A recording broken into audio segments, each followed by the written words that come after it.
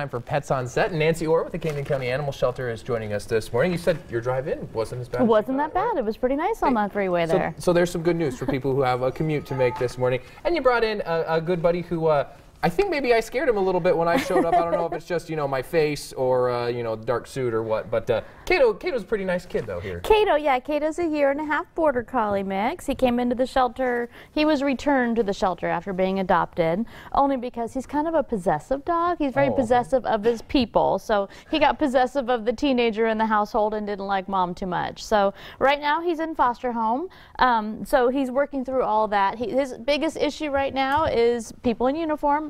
He probably thought you were in uniform. Uh, it's not in, a uniform. all it's dark. just what I wear to work.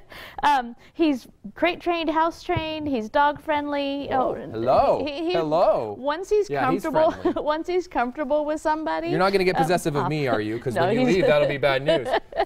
Um, but he's he needs a job. He needs something to do. So obedience. He's already been through a clicker class, so he's done great with that. Um, he's agility. Um, loves playing with toys. So he, and he'd probably be best in a household with children over the age of 12 so they can continue with his his social skills and make sure he doesn't get too possessive of the small children in the house.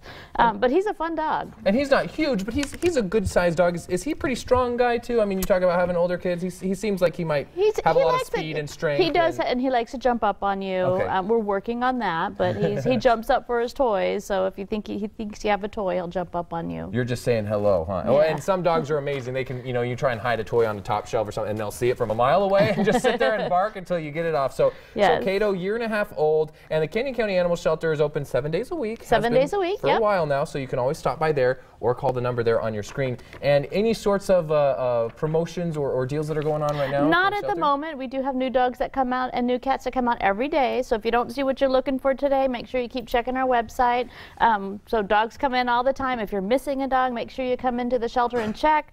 Uh, the gals at the front desk don't always get to see what comes in, so Mm-hmm. it's best. I know that it's hard to drive in there with the snow, but it's best to go in, take a look, because we do get a lot of dogs in there, and make sure you have tags on your dog and Yeah. microchips. And then you can find your dog and find get your dog. to you. Definitely. And, and, and I like what you said. If you don't find the dog that's just right for your family, make sure you stop in at you know several more times because Oh, yeah. the chances are that you will. You will. You know if you don't the first time Yep. because there's going to be different dogs in there. So Definitely. Kato is going to be the dog for somebody. It's just up to you to give them a call or stop on by and hey, see if you're the family for that. So thanks so much, Nancy, Thanks for for bringing having him in. us. We appreciate it.